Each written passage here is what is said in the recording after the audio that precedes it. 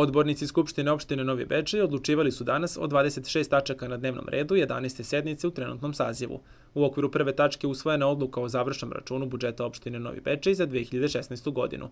Ovoj odluci prethodio je izveštaj državnog revizora koji je konstatovao da je opštinska uprava u Novom Bečeju ispravila sve nepravilnosti koje su se godinama sprovodile u okviru budžeta opštine, vrativši se u zakonske okvire.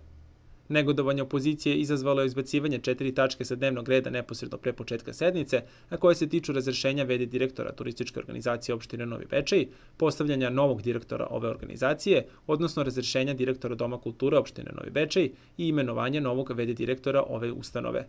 Zašto je to učinjeno, objasnio nam je Miren Jakšić, predsednik Skupštine opštine Novi Bečej. Imali smo jednu malu konfuziju, pošto smo skinuli četiri tačke dnevnog reda, to smo pred samu sednicu odlučili.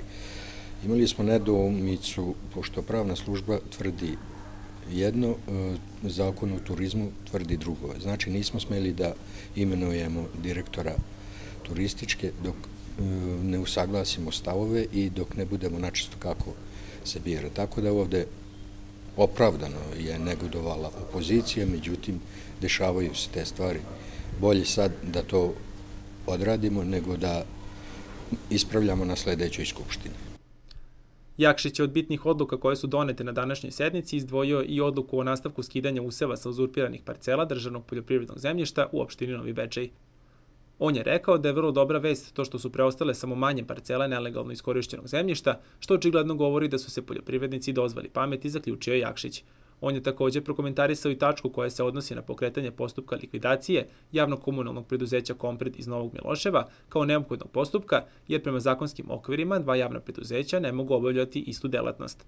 Ono što je tom prilikom naglasio kao najvažnije jeste činjenica da će svi zaposleni u Kompredu nastaviti da rade, ali da će sada raditi za javno preduzeće Komunalac. Na 11. sednici Skupštine opštine razmatranje izvešte anketnog odbora za utvrđivanje činjenica o poslovnom gubitku Doma zdravlja Novi Bečej, a izglasana je i odluka o usvajanju Evropske povelje o rodnoj ravnopravnosti na lokalnom nivou. Novi zakon o sprečavanju nasilja u porodici, koji se primenjuje od 1. juna, između ostalog uveo je i hitno udaljavanje nasilnika iz porodice – Glavni cilj ovog zakona je da na opšti jedinstven način uredi organizaciju i postupanje državnih organa i ustanova i tim omogući delotvorno sprečavanje nasilja u porodici, odnosno hitnu, blagovremenu i delotvornu zaštitu i podršku žrtvama.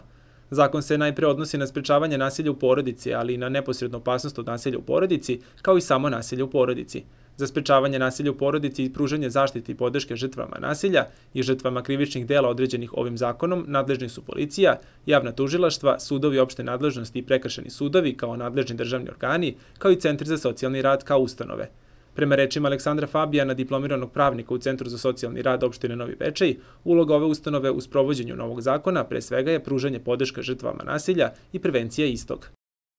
Uloga Centra za socijalni rad što se tiče e, nasilja u porodici je pre svega preventivna, u smislu da kroz redovnu delatnost koju obravlja okolo svoje nadležnosti e, otkrio neposrednu opasnost od nasilja ovaj, kroz razgovor sa strankama e, i tim putem utvrdi porodične prilike i da li postoji potencijalna opasnost od nasilja. Pored toga, centar je dužan da svako nasilje u porodici kao zakonsku obavezu prijavi policiji ili javno tužioc kako bi se pokrenuo odgovarajući e, postupak. E, po samom zakonu sprečavanja, po novom tom zakonu sprečavanja nasilja u porodici, e, centar je dužan da vodi evidenciju podataka o slučajima nasilja u porodici. Predstavnik Centar za socijalni rad jedan je od članova takozvane grupe za koordinaciju i saradnju koji predviđa zakon, a koju čini predstavnici osnovnog javnog tužilaštva kao i policijske stanice u Novom Bečiju, objašnjava dalje Fabijan. Grupa je dužna da se sastaje jednom u 15, eh, jedan put 15 dana, to je redovno sastavljeno, postoji vanredno određenim slučajima koji su utvrđeni tim zakonom. Eh, do sada se sastala dva puta. Eh, grupa razmatra svaki slučaj nasilja koji se nije završio pravnosnom sudskom odlukom, građanskom ili krivičnom postupku, slučajeve kako treba da se, kada treba da se pruži zaštita i podrška žrtvama nasilja u porodici i žrtvama krivičnog dela, izrađuje taj individualni plan e, zaštite i podrške žrtvi i predlaže nadležnom e, javnom tužilaštvu mere za okončanje sudskih postupaka. U okviru svoje nadležnosti i obaveza prema žrtvama nasilja u porodici, Centar za socijalni rad dužan je da im obezbedi pravo na obaveštavanje organima, pravnim licima i udruženjima koje mogu da im pruže zaštitu i podršku. Ove aktivnosti Centar je sprovodio i prestupanja na snagu novog zakona o sprečavanju nasilja u porodici. Takođe, zakon je predvideo i obavezu određivanja tima stručnjaka u samom Centru za socijalni rad, koji je oformljen i u Novom Bečeju, a čine ga pedagog, psiholog i dva socijalna radnika.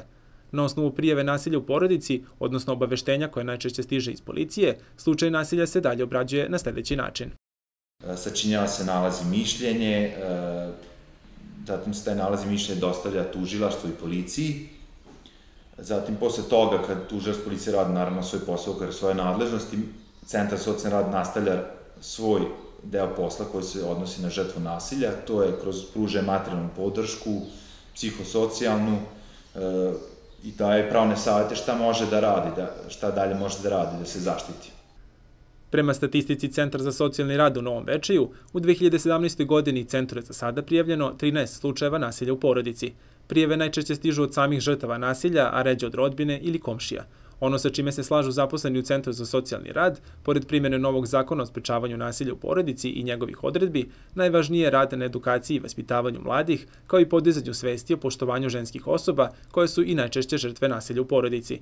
Samo na taj način može se stati na put crnoj statistici koja kaže da u porodičnom nasilju u Srbiji godišnje bude ubijeno oko 40 žena, a da dve od tri žene trpe neki od oblika nasilja. Novobečejci i mnogobrojni posetioci koji vole reku i romantiku i ove godine, sada već tradicionalno, moći će da uživaju tokom tri dana manifestacije kad Tisa cveta, koja će se od 9. do 11. juna održati na obali Tise u Novom Bečeju. Kakav program nas očekuje ove godine, ispričala nam je Nevena Subotić, PR manifestacije. Biće već u petak od 18 časova etno ulica i ovaj, e, biće naravno tu po običaju i kočije i čamci, e, ljudi će moći da se ovaj, lepo zabave, a o, negde oko 21.30 počinje koncert Hot and Cold nastupaju. Oni su baš dobri ovaj, klubski bend i ovaj, naprave vrlo lepu atmosferu. Naravno u 22 kao što je na Bečejcima poznato počinje vatreni performans i umeđu vremenu naravno svi puštamo svećice, evo ko nije video, to otprilike ovako izgleda, i zamišljamo želje.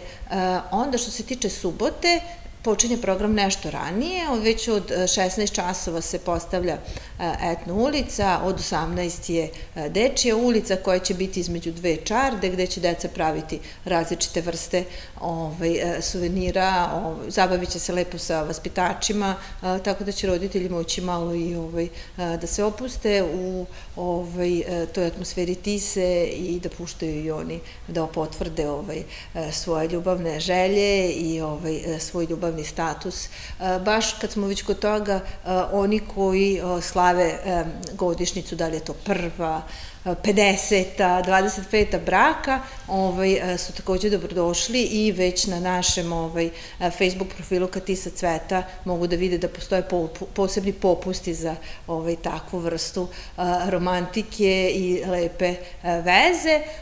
Znači, što se tiče subote, u 21.30 nastupa, nastupa band Gravy Tune i naravno nastavlja se do ranih jutarnjih sati. Treći dan manifestacije Katisa Cveta, nedelja 11. jun, rezervisan je za takmičenje u puštenju zmajeva i opušteno druženje uz reku, najavlju organizatori manifestacije Udruženje građana Tri reke iz Novog Bečeja.